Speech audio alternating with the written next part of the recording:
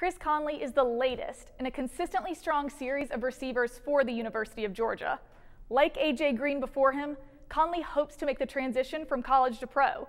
His strengths are his size, strength, and track record of accomplishments at UGA. As a senior, he racked up 657 receiving yards, eight touchdown catches, and did this with a run-heavy offense. Conley needs to impress the scouts with his speed and route running. But the 40 yard dash will definitely be the key element that scouts will look for in Conley.